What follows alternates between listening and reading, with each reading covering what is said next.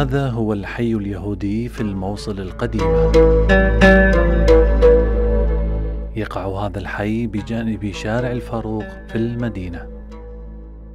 مثنى فاضل مواطن مصلي يعرف المدينة تمام المعرفة فقد قضى حياته كلها فيها. يعرف بيوت اليهود بيتا بيتا ففي طفولته كان يتردد كل يوم على هذه المحلات التي كانت في السابق مملوكة لليهود. إحنا قريبة من منطقة اليهود منطقة الشيخ فتحي فكنا نجتمع. لا كان اكو اذاعه ولا اكو شيء فيسولفونا أبهاتنا وأجدادنا على هاي المنطقة ونحن قريبين عليها لأنه كان اكو حتى يعني بقاقيل انه هم يهود. نتعامل وياهم يتعاملون ويانا عادي كان يجيبني يعني أصغر يعني والاكبر فيحكون لنا هذا بيت هذا المدرسة مالتهم كان ناس متعايشة ويا ناس ما حد يعني وهاي البيوت شهيدة عليهم. آه والنقوشات مالتهم لحد الآن تشوفوها قدام بيتكم اللي بقى طبعا. حفر اليهود كل كتاباتهم على أحجار المرمر في الموصل. الكتابات هي باللغة العبرية وهي مؤلفة من رموز خاصة. كان الموصليون يستخدمون أحجار المرمر لتزيين بيوتهم منذ مئات السنين. مثلا عندهم مكان صلاة خاصة بهم لأنه كل ديانة يصلي أكو بالجامع أكو بالكنيسة أكو بالهاي فهم لهم مناطق تشوفوا يعني يصلون بها صلاتهم اللي هم يعني يعرفون بها و كل البيوتات في يعني البيوتات اليهود بها جوامع صوامع بها كذلك اسمه يسموها صوامع يعني ويكتبون عليها حالة مثل الجامع كآيات وهاي فهاي كتابتهم. اللي هم يعني هاي بالعبري. سالم الحلاق من أهالي حي النبي جرجيس في الموصل يتجاوز عمره 85 سنة. وهو لا يزال يمارس مهنته. لديه ذكريات طفولة مع اليهود. ابتاع كثيرا من الحلويات وألعاب الأطفال من محلات اليهود. مرة أنا كنت ولد يعني ما يعني ما فرقت يعني أنا كنت أروح أشتري منه دقيقين بني ولا زال هسه ثاني من محلة اليهود. دقيقين بالي صغار صغار صغار شوق شوق. تجار كانوا.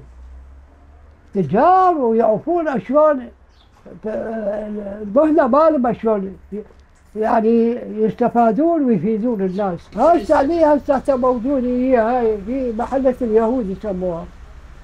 يسموها محلة اليهود. يمكن فوق ال 500 بيت 600 بيت مهدم قسم بالله وقسم بالله. لأنه والدولة وقتها بالعهد الملكي عطوهم عطوهم حقه من النفط. عطوهم حق البيوت اللي اللي مالتهم ولكن آبائهم وأجدادهم لهم وهش على عليها لأن تربوا بيها. تربوا بهذه البلد.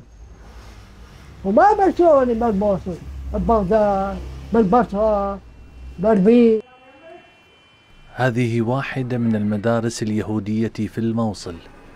درس فيها المئات من أولاد اليهود وتعلموا في القرن التاسع عشر. كانت المدرسة تعلم الدروس الدينية اليهودية في الغالب. شيدت المدرسة على مساحة 1300 متر مربع وبعد رحيل اليهود أصبحت ملكا للحكومة العراقية وقد درس سالم الحلاق فيها. كانت حتى عند المدرسة ريبة خضوري هاي كانوا يدرسون بيها. وبين الطبلة مال الكنائس مال ريش تحت الهجري موجودين فرست مرعي مؤرخ كردي له العديد من المؤلفات عن حياة اليهود في إقليم كردستان والعراق. يذكر أن اليهود هم أول من سكنوا في الموصل القديمة. جي العراقي قلقبون كان اليهود في العراق كثيرين. اليهود كانوا أكثر من المسيحيين. عندما كان عدد سكان العراق أربعة ملايين نسمة كان اليهود مئة وأربعون ألفا منهم.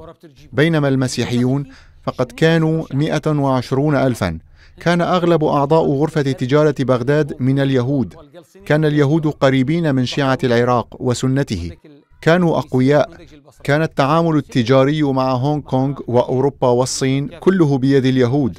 أغلبهم كانوا في بغداد وقليل في البصرة وقليل في الموصل. الذين في الموصل كانوا يقطنون حي الأحمدية والموصل القديمة وحي النبي جرجيس.